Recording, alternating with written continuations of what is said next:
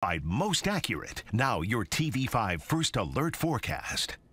Good Wednesday afternoon. I'm First Alert meteorologist Mathieu Mondro with your Wednesday afternoon update. Conditions much milder for today. This afternoon we'll make our way up to around 55 degrees if you're in Flint.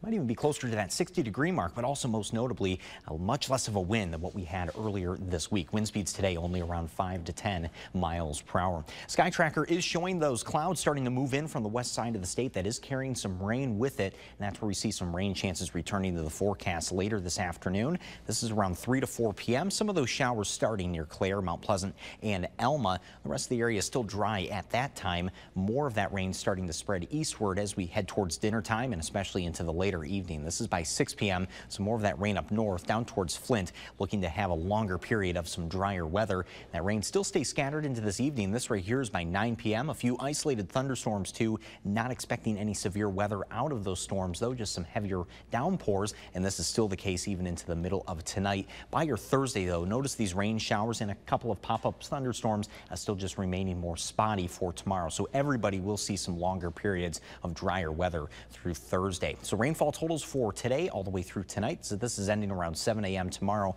Totals higher farther north where you do have those heavier showers. Over a half of an inch of rain is possible. Places like Flint, Owosso, and even Lapeer, you're only going to check in at around a tenth to two tenths of an inch. So definitely lower rain totals farther south. By the weekend, we're also still tracking this system. Some signs have shown this shifting towards the east, closer to Ontario. So still at least a chance for some scattered rain showers in mid-Michigan, especially on Saturday. That's going to be the better day to see that rain, but it is looking like by Sunday things will slowly be starting to dry back out.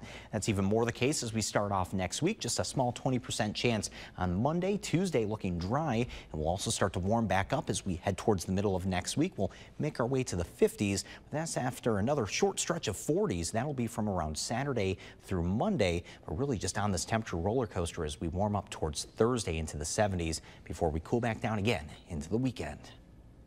Stay with WNEM TV5 on air, on the go, and online for more news and weather updates.